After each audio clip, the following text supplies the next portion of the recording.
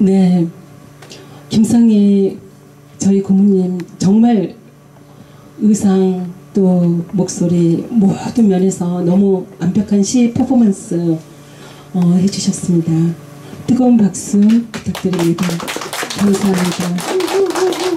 아, 전 눈물이 막 나오려고 하고 또 문병란 시인님은 저의 제가 전남여고 1학년 때 네, 인연을 맺어서 제가 시를 본격적으로 배웠던 저의 스승님이십니다. 지금은 돌아가셨지만 이렇게 인연 소설을 시는 나와서 우리가 함께 합니다. 선생님께 시를 배우고 시를 쓰고 해서 시인이 되고 또 여러분과 이렇게 만남의 자리로 인연을 맺어주신 것 같, 같습니다. 어, 선생님께 감사의 인사를 드립니다. 네.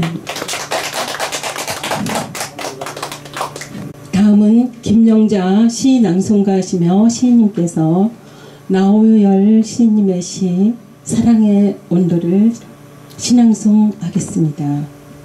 그리고 장영순 시 낭송가시며 시인님께서 이금배 시인님의 시 겨울행을 신앙송하겠습니다. 김정한 시 낭송가시며 시인님께서 구루몽 시인님의 시 낙엽을 신앙송하겠습니다. 큰 박수 부탁드립니다.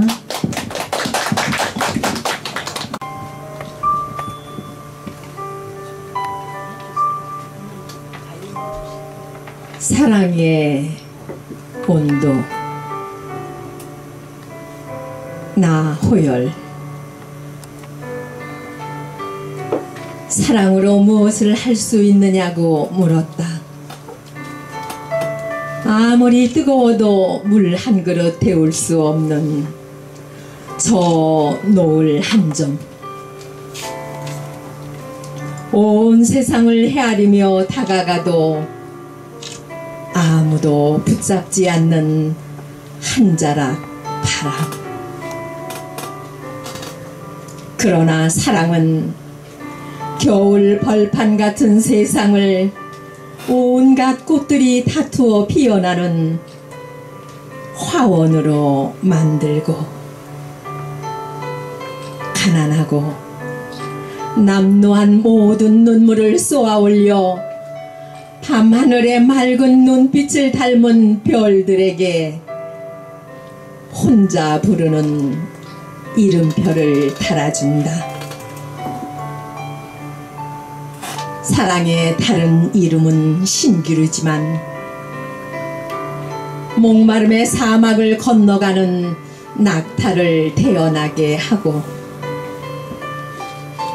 다시는 돌아오지 못하는 길을 두렵지 않게 떠나게 한다. 다시 사랑으로 무엇을 할 수 있느냐고 묻는 그대여. 비록 사랑으로 할 수 있는 일이 아무것도 없을지라도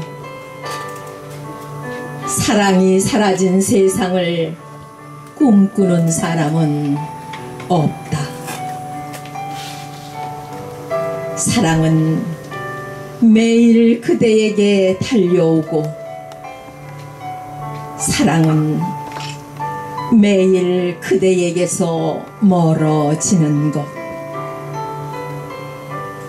온열 동물의 신비한 체온일 뿐이다.